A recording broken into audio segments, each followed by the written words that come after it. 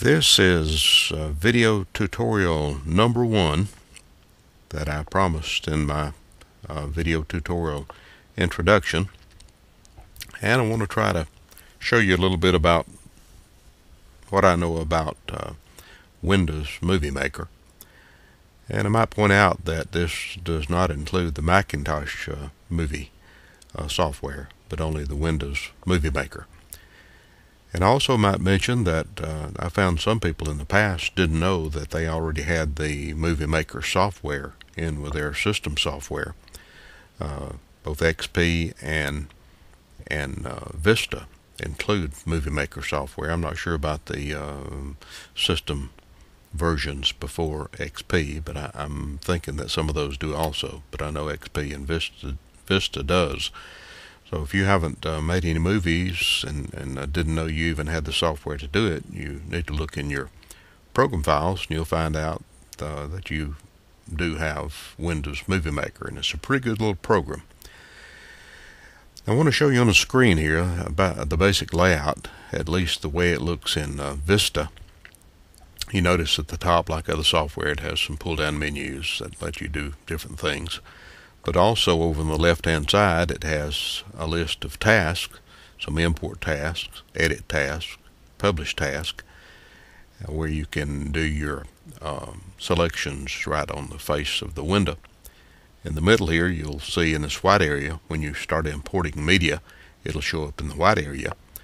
Over in the right-hand side, in the black area, is your preview screen that shows uh, video or, or uh, photos that you have in, uh, in your media area and it also play it. That's where your videos will play when you're trying to uh, get them worked out and edited.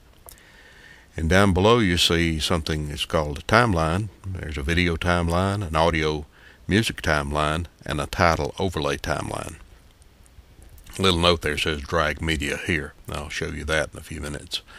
Also at the top of the timeline it's listed from zero uh, in this uh, window up to 45 seconds and that is broken down in hundredths of a second. It can also go up into many minutes or hours if you had happen to have a video that long.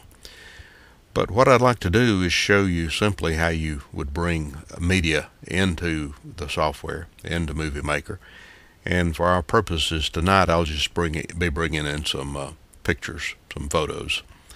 And if you look over in the task, and it says import, and there's a category called pictures, if you left click on pictures, it takes you to uh, one of your directories, one of your files that has photos in it. These are some furnished with uh, with uh, Vista for Microsoft. And let's pick the one here called Creek. You left click on it, tell it to import it, and when you go back to the window, you'll see there's your creek, and it's showing you a, a blow up over in the right hand side. And notice the one you selected is appearing under imported media.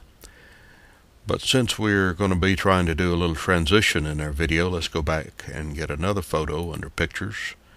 And let's pick, um, well, let's see, I guess forest. And say import. And again, it brings it very quickly in. There's your forest picture. Shows it to you, a beautiful picture in the right hand side there. So now we have two still shots. These could just as well be video clips that we brought in the same way, or audio clips. But in this case, it's uh, photos that we want to make a little video out of. So to get them into your video timeline, you simply go up and left click, drag down and drop. It'll find its place. It shows you over in the right hand side. Go back and get the forest photo, bring it down and drop it it automatically clicks in the right place, shows it on the right hand side. So what we have is the stream and the forest down in the timeline. Now if we play this, we'll do a little reline, uh, uh, rewind and just play it through and show you what it does. For first five seconds, it'll show you the stream, then it'll jump to the forest and it'll show it to you for five seconds and stop at 10 seconds. So that's a, a little short video already. It's kind of jerky and short and only shows two scenes. But it's a, it's a video just as well. This video could be saved and uploaded to uh, YouTube.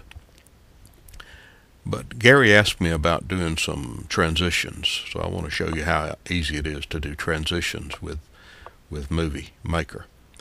Uh, you go down to the bottom where your timeline is, and let's say you, say you want to make the first photo fade out and the second photo fade in at the same time.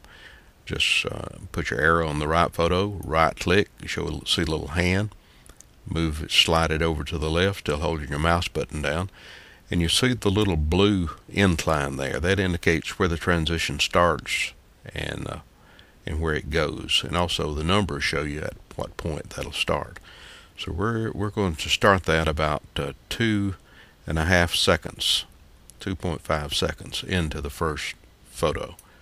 So what will happen, and you see there in the bottom that uh, you do have an overlap.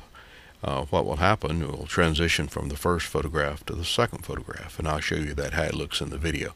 Let's do a rewind and do a play, and if you notice up here for the first second or two, it fades out, fades into the forest, and it stays on till about uh, seven and a half seconds. Uh, if you want to go back and kind of look at it in different segments, you can drag this little indicator, green indicator, and it'll show you what's going on at the different ones. If you wanted to make the video a little longer, you can select the second photo and pull it out to say 10 seconds. And we'll rewind, play again. You'll notice the same transition, a fade out, a fade in, and the fade in will stay on until the video's been on for 10 seconds. So that's uh, our first uh, video tutorial that showed you how to bring things into uh, Movie Maker, how to put them in a timeline, and how to make a simple transition between the first clip or first photo and the second photo. So we'll make this a short one, and I'll be back before too long with uh, more Windows Movie Maker tips and tutorials from Messabout One. Good night.